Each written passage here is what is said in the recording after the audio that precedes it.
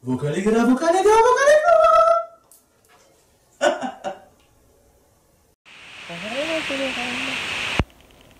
J'espère que vous allez bien. Pour les nouveaux sur cette chaîne, je vous encourage à regarder les autres vidéos. Vous y trouverez de quoi développer l'artiste que vous êtes, c'est-à-dire plein de vocalises pour pouvoir placer votre voix pour chanter votre vie, plein de bonnes idées pour que vous sortiez de votre petit vélo dans la tête qui vous dit non, n'aie pas confiance en toi, tu n'es pas un bon artiste, et plein d'idées pour développer votre créativité. Aujourd'hui, je vous parle de la créativité justement et je vous encourage à écouter le vent, à écouter les abeilles, à écouter les moustiques, à écouter le chien qui aboie, le chat qui miaule et de vous souvenir que nous avons commencé à composer grâce à ce qu'on entendait. Si j'entends un chat qui me fait je peux commencer un morceau comme ça.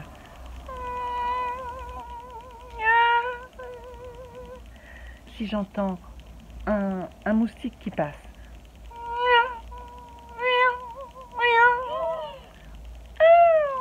Un oiseau qui passe.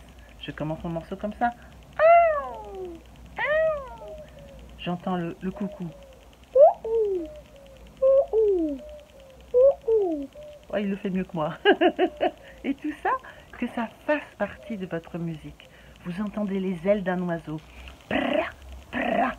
Pour ceux qui composent, ça peut être la base du morceau et ça peut être aussi des décorations.